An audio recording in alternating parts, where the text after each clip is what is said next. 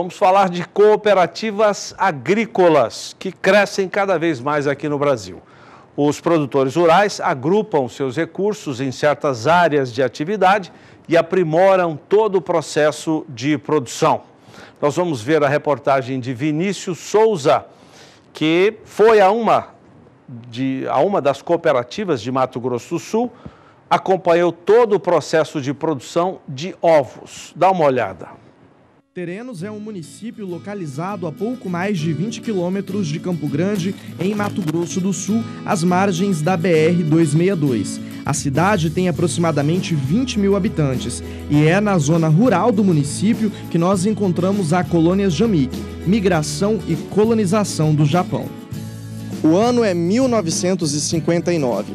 Os primeiros imigrantes japoneses que chegaram aqui na região de Terenos desembarcaram no Porto de Santos e vieram pela linha férrea até o município. Aqui ainda era Mato Grosso, só depois o estado virou Mato Grosso do Sul.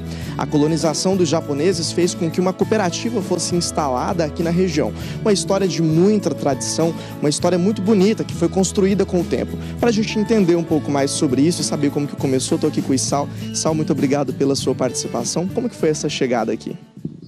é, os primeiros imigrantes chegaram em 1959, que foram nove famílias. É, depois vieram o, outros imigrantes em 1960. No caso, os meus avós são de 1960. A história muito bem representada. Hoje vocês têm muita tecnologia, se desenvolveram muito bem aqui na região. O que, que representa para você? É uma vitória, né, do, dos pioneiros, né, que acreditaram e vieram do Japão, é, enfrentaram essa dificuldade inicial que foi é, aqui era um cerrado e depois eles montaram a avicultura e passando de geração para geração e hoje é, eu sou neto de imigrante japonês. A imigração aconteceu quando os japoneses se recuperavam da destruição provocada pela Segunda Guerra Mundial. Eles dividiram 36 mil hectares da então Fazenda Várzea Alegre, comprada pela Jamic. Nascia a colônia e a capital dos ovos de Mato Grosso do Sul.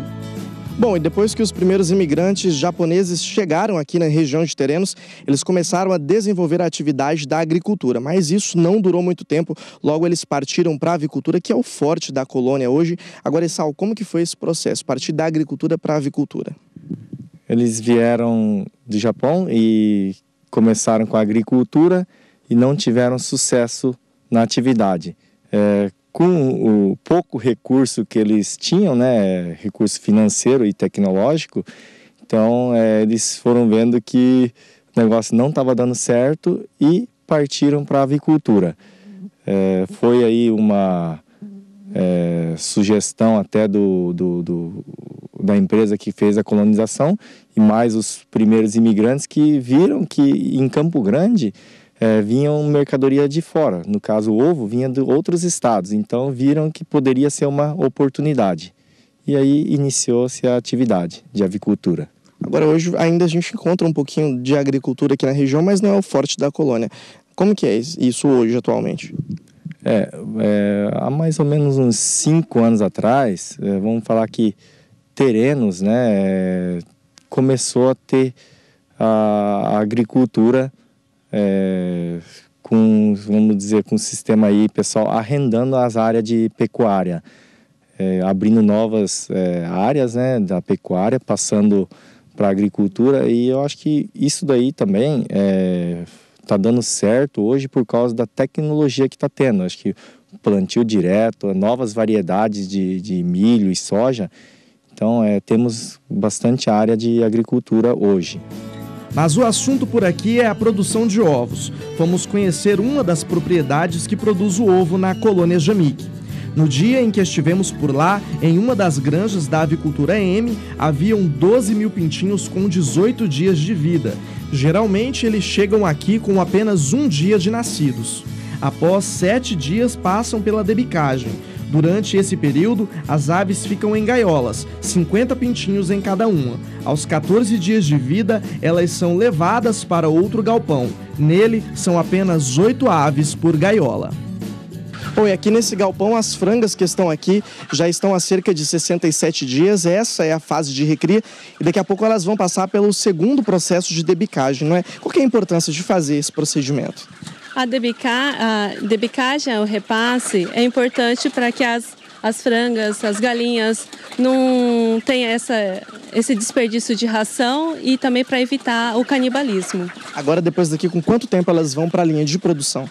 Então, é, entre 100 e 110 dias a gente já vai estar tá levando para os galpões de postura.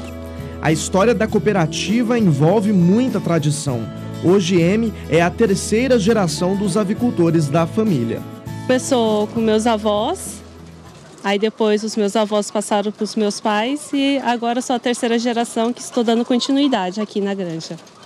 Agora explica para mim qual que é o processo. As galinhas começam lá embaixo, quando chegam os pintinhos, é até eles chegarem aqui, qual que são os procedimentos?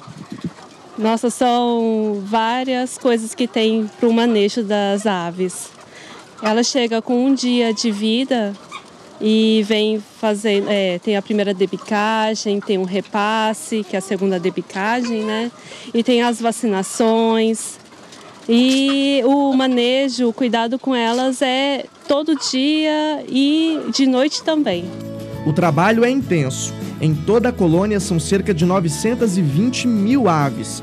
Só nos galpões dessa avicultora são 150 mil aves botando ovos todos os dias. Em parte dos galpões, a coleta já é robotizada, o que facilita o andamento da produção. São cerca de 90 mil ovos por dia, o que totalizam a produção de 2 milhões e 700 mil ovos por mês durante o tempo de vida útil da galinha. A vida de produção dela é mais ou menos de 90 a 100 semanas de vida, né? Depois, depois disso, vai para o abate. A alimentação das aves também precisa de um cuidado especial para manter a qualidade dos ovos e o nível de produção. Hoje, a cooperativa se tornou autossuficiente produzindo a própria ração. Para a gente produzir um produto final de qualidade, a gente precisa ter uma nutrição de qualidade também. Então, toda a matéria-prima que a gente utiliza para fabricar a ração, ela precisa passar por uma qualificação, tanto do fornecedor quanto da matéria-prima. E aí a gente conseguir elaborar uma ração de qualidade e atender todos os níveis de exigência de cada ave. Depois que o ovo sai lá da granja e passa por uma pré-seleção, ele vem aqui para esse ambiente onde é feita a última etapa até que ele chegue ao seu consumidor final. O Francisco está aqui do meu lado e vai explicar para a gente um pouco mais desse processo. Qual é a etapa que é feita aqui dentro? Bom, após chegada dos caminhões, né, é, os ovos são armazenados do, do, lado até que o pessoal da recepção é, faça o controle da nota fiscal, né, do, da produção de cada cooperado né? É, e após essa fiscal, esse monitoramento, é, é, os ovos é colocados nas máquinas, onde são é, lavados, né? é, é passados pela primeira boscopias. É, após é, os ovos são desinfetados com a, a raio UV é, e passar para a segunda ovoscopia, onde após isso passar pela balança, onde pesar ovos por ovos, né, onde cai é, depende da classificação em cada etapa do, do processo. A produção diária aqui nesse setor está em torno de 860 mil ovos. Cerca de 80% fica no estado de Mato Grosso do Sul. Os ovos são classificados como industrial, pequeno, médio, grande, extra e jumbo. Durante a seleção, o material que apresenta alguma imperfeição é reaproveitado de outra maneira, como por exemplo o ovo líquido. Bom, tem funcionário aqui na empresa que é muito antigo, o Odinei tem 16 anos de casa, e a gente estava conversando um pouco, e eu falei assim, será que todo o material aqui é reaproveitado ou tem algum descarte? Na verdade não, né, Rodinei? Porque os ovos que são identificados ali, que tem rachadura, alguma coisa, eles vêm para esse ambiente, aqui vai acontecer o quê? Ele vai ser quebrado, se torna ovo líquido, e fica numa, câmera fria, abaixo de 30 graus, congela, aí vai direto para a indústria em São Paulo. Até a casca do ovo é aproveitada. Depois de quebrada, ela se torna adubo orgânico. Continuando na linha de produção, depois de passar pela seleção e classificação, o ovo vai para a máquina de desinfecção, onde vai ser lavado, depois pesado e embalado. E depois de todas essas etapas de produção, o caminhão é abastecido por todo esse material produzido aqui e vai parar na sua mesa. Eu vou ficando por aqui.